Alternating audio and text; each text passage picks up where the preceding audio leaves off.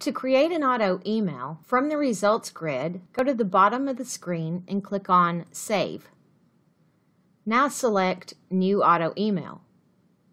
From here, if you haven't already created the contact, you can do so by clicking here, or you can find your contact by clicking on the drop-down arrow.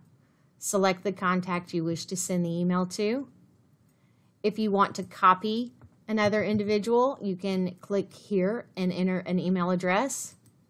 You can blind copy yourself on the email. You're required to enter a subject line. You'll notice that there are two tabs, the welcome email and the recurring email. The first tab is the welcome email, and this is the email that will be sent for the first time. It includes code that allows your customer to opt in to receiving the auto email. You can create the body of the email simply by clicking in the box, or you can just leave it like it is. But it is customizable if you wish to edit this. You can click right down here if you edit the message and select Set Current Message as my default recurring email text.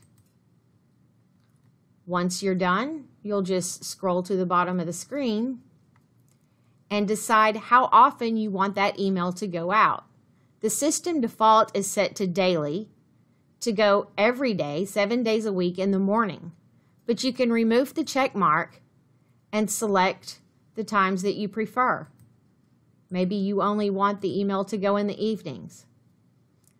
You can also select ASAP.